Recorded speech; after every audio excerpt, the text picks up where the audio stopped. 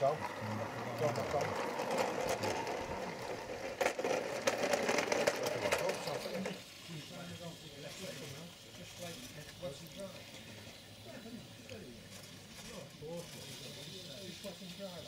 Kunnen we even go